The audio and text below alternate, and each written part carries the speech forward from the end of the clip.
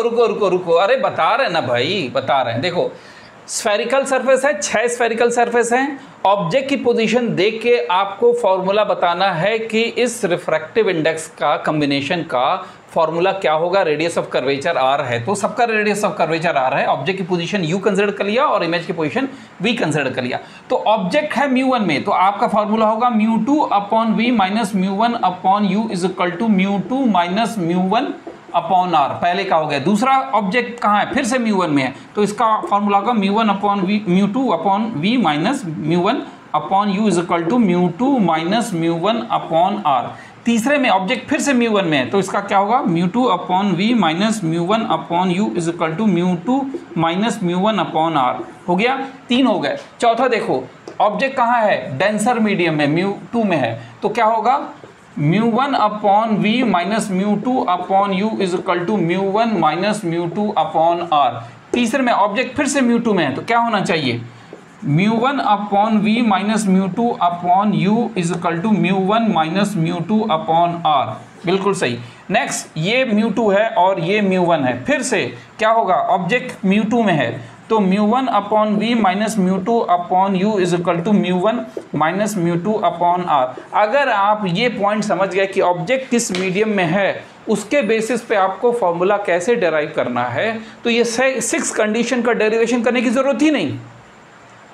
आप सिर्फ़ देख के बता सकते हो कि इस सिनेरियो में, इस केस में, चाहे कॉन्वेक्स सरफेस हो सामने ऑब्जेक्ट के सामने, चाहे कनकेव सरफेस हो, चाहे ऑब्जेक्ट डेंसर मीडियम में हो, चाहे ऑब्जेक्ट रेयर मीडियम में हो, आपको बस इस बात का ध्यान रखना है कि ऑब्जेक्ट किस मीडियम में है। तो जिस मीडियम में ऑब्जेक्ट होता है यू के साथ वही मीडियम यूज़ किया जाता है। देखो ज़रा, सभी कंडीशन में यू के साथ वही मीडियम है जिस मीडियम में ऑब्जेक्ट है। और वी का वी को पोजीशन देखनी ही नहीं है वी किस मीडियम में है? चाहे वर्चुअल बन रहा है इमेज चाहे रियल बन रहा है, उससे कोई मतलब नहीं है यहाँ पर। फॉर्मूले में आपको बस ये देखना है कि यू का मीडियम कौन सा है। याद रहेगा? अब इनमें से सिर्फ़ दो कंडीशन का लेंस मेकर फॉर्मूला में यूज़ होता है। पहला कौन सा कंडीशन है? पहली कंडीशन ये जो मैंने पहली बताई है, ये वाला इस कंडीशन का यूज़ होता है लेंस मेकर फॉर्मूला में।